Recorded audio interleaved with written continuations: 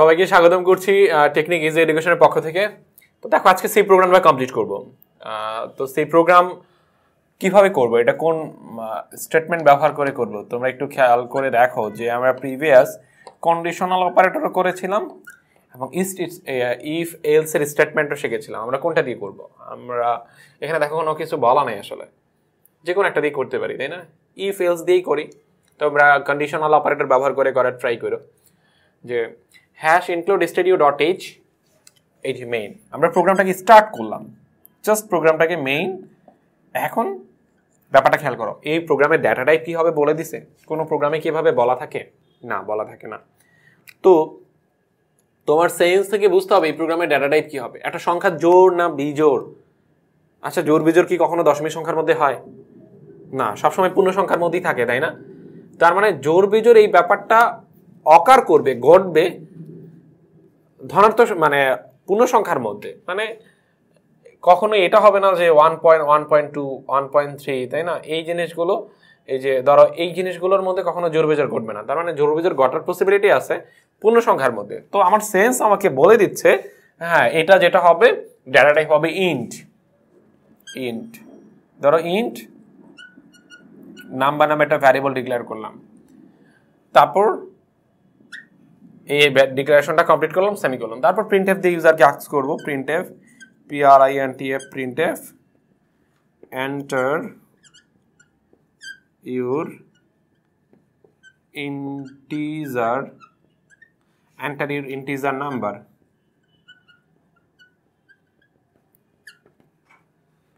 আচ্ছা অনেকের কিন্তু একটা কনফিউশন এই যে এই জায়গায় এই জায়গায় ইকুয়াল কি আসলে কোনো অ্যাসাইনমেন্ট অপারেটর হিসেবে কাজ করতেছে? না। এটা জাস্ট আউটপুটে দেখাবে। এটা ডাবল কোটেশনের ভিতরে মানে কোনো অপারেটর না কিন্তু আসলে। এটা কোনো অ্যাসাইনমেন্ট অপারেটর না এখানে। আমি যদি কোটেশনের বাইরে কোথাও এটাকে ব্যবহার করি, প্রক্রিয়া করে না, তখন এর আচরণ হবে অ্যাসাইনমেন্ট অপারেটর এটা জাস্ট আউটপুটে নাম্বার যেরকম আউটপুটে দেখাবে ইকুয়ালটা ওই রকমই আউটপুটে দেখাবে। তুমি এখানে কোলন দিলে কোলন দেখাবে, তাই না? তুমি যদি এরকম কোলন ইউজ করো, ধরো এই কল এটাকে ইউজ না করে তুমি এখানে ধরো কোলন ইউজ করছ এটাই আউটপুটে দেখাবে। তো এটা নিয়ে অনেকের কোশ্চেন ছিল আমার কাছে, তো সেটাই শেয়ার করার ট্রাই করলাম। তো ডাবল কোটেশনের ভিতরে যাই থাকুক, সেটা হচ্ছে একটা স্ট্রিং টোটালটাই আউটপুটে দেখাবে। তারপরে সে সেই নাম্বারটা স্ক্যান এফ করে নিব। S C N F scan F percent কি হবে? ডাটা টাইপের উপর ডিপেন্ড করে। ডাটা টাইপ ইন্ট হলে এখানে হয় পার্সেন্ট ডি নিয়ে রাখব কোথায়? নাম্বার ভ্যারিয়েবলে রাখব। আচ্ছা। তো দেখো প্রিন্ট এফে আমরা মেসেজ দিলাম। সেই মেসেজটা ইউজার পড়ে সেটা নাম্বার প্রোভাইড করবে। সেই নাম্বারটা কি? একটা ডেসিমাল নাম্বার প্রোভাইড করবে। নিয়ে রাখবে কোথায়? নাম্বারে এখন এই নাম্বারটা পজিটিভ না নেগেটিভ এটাকে আমাকে চেক করতে হবে। ইফ যদি আমি ইফ এলস স্টেটমেন্ট ব্যবহার করে কাজটা করছি ইফ যদি এই যে number M VR number percent two equal equal যদি জিরো হয়, তার মানে প্রিন্ট এফে আমি কি দেখাবো? প্রিন্ট এফে দেখাবো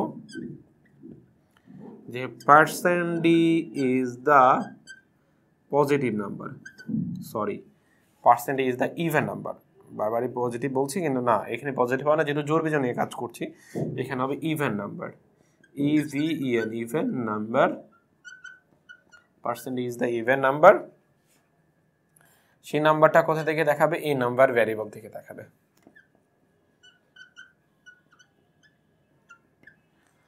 তারপর আর এটা যদি ফলস হয়, এটা ফলস হতে পারে কিন্তু। এই এটা কি? ফলসও হতে পারে। তো এটা ফলস হলে কোথায় কাজ করবে? যে এলসে চলে যাবে। এলস তাহলে দেখাবে প্রিন্ট এফে P R I N T F print F percent D is the odd number odd মানে হচ্ছে বিজোর odd number N M V এর অড নাম্বার কোথা থেকে দেখাবে? নাম্বার থেকে দেখাবে। আচ্ছা এখানে এই ভ্যারিয়েবলটা কিন্তু এটা। এই ভ্যারিয়েবলটা এইটা এইটা এইটা। আমি যদি এখানে এ লিখি, এখানে এ লিখতে হবে, এখানে এ লিখতে হবে, এখানে বি লিখতে হবে। এখানে যদি শুধু লিখি অ্যানিউএম তাহলে এখানে অ্যানিউএম লিখতে হবে, এখানে অ্যানিউএম এখানে অ্যানিউএম এটার সাথে কিন্তু এটা রিলেশন নাই, এটা আউটপুটে দেখাবে। এটা কিন্তু আউটপুটে দেখাবে না। এটা কার জন্য কাজ করবে? এই পার্সেন্ট এর জন্য। এই পার্সেন্ট এর জায়গায় কোন ভ্যালুটা দেখাবে সেটা নির্ধারণ করে দিবে এই ভ্যারিয়েবল তার মানে হচ্ছে ক্লোজ করলাম, তারপর প্রোগ্রামটা শুরু প্রোগ্রামটা ক্লোজ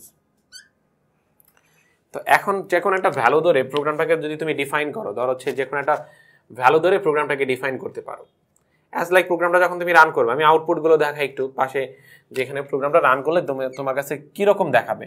প্রোগ্রাম তোমাকে কেমন তোমার সাথে কেমন আচরণ করবে? প্রোগ্রামটা রান করলে তোমাকে দেখাবে, বলবে এন্টার ইউর নাম্বার এন্টার এই, এটা আউটপুটে তোমাকে দেখাবে। এন্টার ইউর এই যে এই লাইনটা দেখাবে। Enter your integer integer number your integer number এই লাইনটা তোমাকে আউটপুট দেখাবে। প্রোগ্রামটা যখন তুমি রান করবা, এই লাইনটা পরে কি? তুমি এটার সংখ্যা ইনপুট করবা।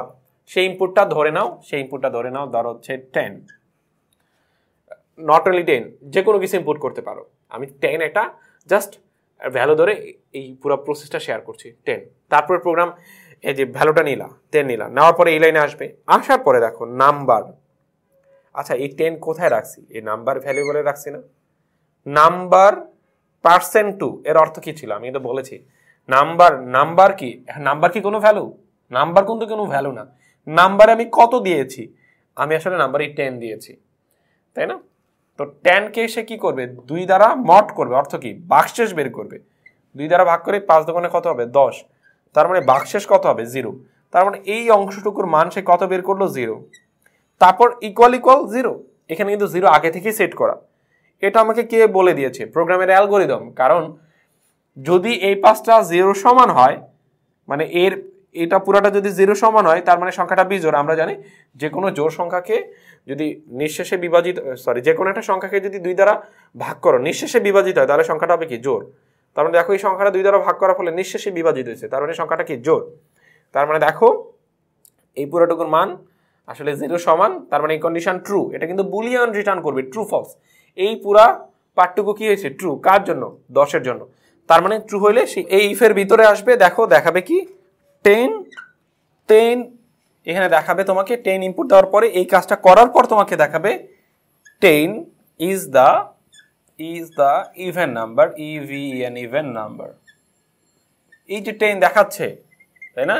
তো এই টেন কোথা থেকে দেখাবে? এই নাম্বার থেকে, কারণ নাম্বারই টেন দেখাচ্ছিল। আর এটা কিন্তু দেখাবে। যদি তুমি টেন ইনপুট করো, এতটুকু তুমি আউটপুট দেখতে পাবে। আর যদি টেন ইনপুট না করে অন্য কোনো ভ্যালু ইনপুট করো, সেক্ষেত্রে কি দেখাবে? ধর হচ্ছে আমি আরেকটা ভ্যালু নিচ্ছি, সেটা ধর হচ্ছে সেভেন ধরো এই লাইনে সেভেন তুমি ইনপুট করেছ। যে অ্যান্টারিউর ইন্টিজার নাম্বার এখন টেন ইনপুট না করে সেভেন ইনপুট করেছ। তার মানে সেভেন নিয়ে সে ইফে আসবে। ইফে আসার পর সেভেনকে টু দ্বারা মট করবে। মট করবে মানে কি?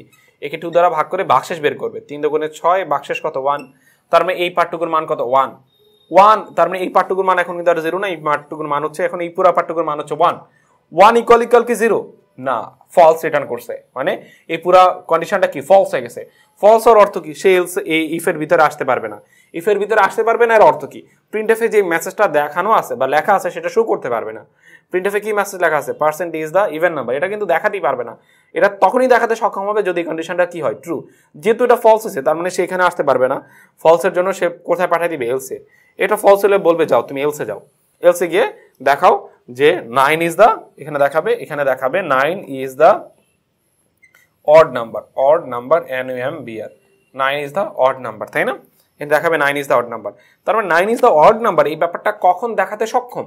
যদি এই জিনিসটা কি হয়? ফলস এটা ফলস আর অর্থ কি? জিনিসটা বেজোর ছিল। বারবারই কিন্তু বলতেছি, এটা ফলস আর অর্থ বিজোর তার মানে আমরা বলতে পারি ইফের ফলস ব্লক হচ্ছে এলস এটা ফলস হলে এটা কাজ করে, তাই না? একটা প্রোগ্রাম তুমি কত ভালো বুঝতেছো, সেটা তুমি জিনিসটা টেস্ট করতে পারো। এই কাজটাকে অন্যভাবেও করা যায়। জোর বেজোর জিনিসটাকে এখানে লজিকগুলো চেঞ্জ করে দিয়েও করা যায়, তাই না? যে আমি আসলে নট ইকুয়াল জিরো দিয়ে আমি জিনিসটাকে যতভাবে কাস্টমাইজ করা যায়। তোমার মূল লজিক হচ্ছে এটা। তুমি এটাকে অন্যভাবে করার ট্রাই করো। আমি কোনো একটা পর্বে দেখানোর ট্রাই করব। এটা তোমাদের কাছে রেখে গেলাম। যে জিনিসটাকে অন্যভাবে করা যায়। তুমি যদি লজিকগুলোতে সঠিকভাবে বা যে লজিকগুলো এখানে আসলে শেখানো হয়েছে, সেই সঠিক লজিকগুলো যদি তুমি সঠিকভাবে ধরতে পারো, তাহলে তুমি জিনিসটাকে লজিকটাকে আরেকভাবে ডিফাইন করে জিনিসটাকে সঠিকভাবে করতে পারবা। আর এখানে একটা ব্যাপার বলা যাক যে পুরো জিনিসটাকে কন্ডিশনাল অপারেটর দিয়ে করা যায়। আমরা যে কন্ডিশনাল অপারেটর শিখেছিলাম যে কন্ডিশনাল অপারেটর মনে আছে কন্ডিশনাল অপারেটর কি? কন্ডিশনাল অপারেটর ছিল আমাদের তিনটা সেগমেন্টে বিভক্ত। Expression one question mark expression two তারপর কোলন তারপর কি ছিল? এক্সপ্রেশন থ্রি তো চাইলে আমরা ওটা দিয়ে করতে পারি। যদি আমাদের কোশ্চেন বাইন্ড করে দেয় ফিক্স করে দেয়, যেটাকে কন্ডিশনাল অপারেটর দিয়ে করো দেন কন্ডিশনাল অপারেটর দিয়ে করতে হবে। তো আমি তোমাদের কিছু সময় দিব। আমি নেক্সট পর্বে অন্য জিনিস নিয়ে কথা বলার ট্রাই করব। এগুলো তোমরা করে দেখাবা, যে কমেন্টে যে করতে পারছ কিনা। আল্লাহ হাফেজ।